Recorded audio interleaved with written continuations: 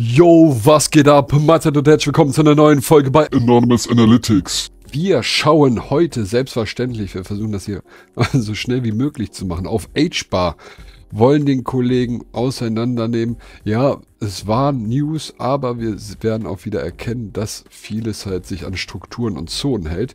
Des Weiteren, wer noch Bock hat mitzumachen, nutzt gerne den Link in der Beschreibung für unser Pionex-Event ich, ich knack den ersten Platz einfach nicht. Für Future Trading Volumen äh, macht auch Bock so, ein bisschen dieses Gegeneinander antreten. Könnt euch auch die Bots angucken.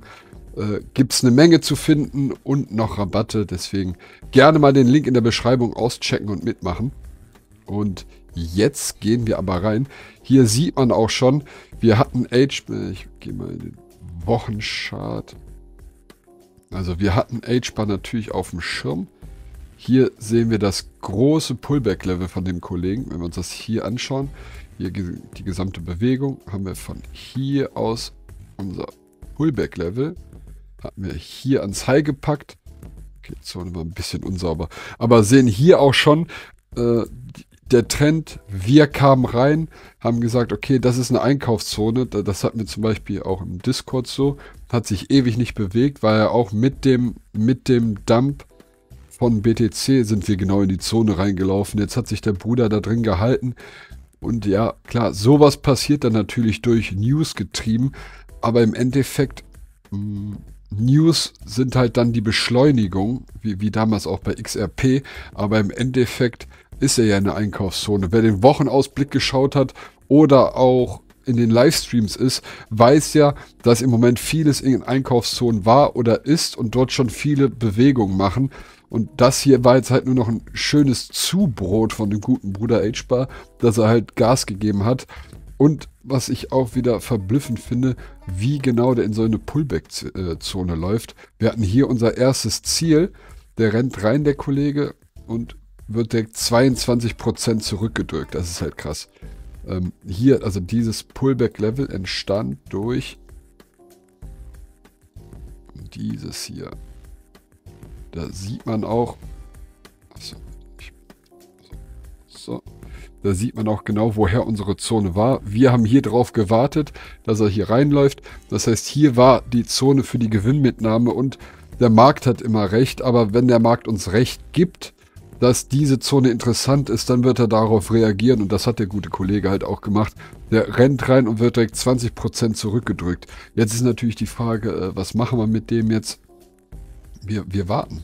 Also das, wir, wir bekommen ja keine FOMO. Wir sind ja rationale Händler. Wir sagen, okay, äh, das war jetzt News getrieben. Schauen wir mal, die Wochenkerze wird schon wieder unter das Weekly High gedrückt. Tageschart mal schauen. Also das ist für uns jetzt kein Grund, da hürdenlos reinzugehen, sondern wir warten natürlich.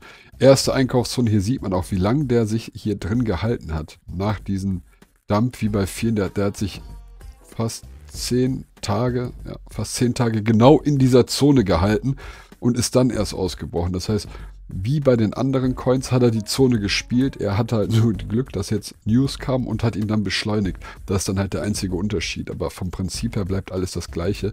Wir können jetzt natürlich wieder schauen, also nur um auch den Leuten die FOMO zu nehmen, wohin er wieder korrigieren könnte. Wenn wir jetzt sagen, okay, das hier wäre wieder ein interessantes Level. So, machen wir mal so. Da könnte er schon wieder reinlaufen. Das, das wäre jetzt wieder 20% nochmal runter.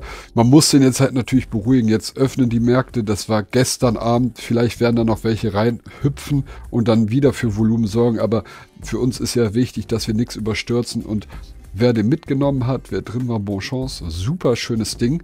Aber wir lassen uns natürlich nicht von Emotionen leiten. Deswegen ist es uns jetzt egal. Wir setzen hier unten einen Alarm drauf. So.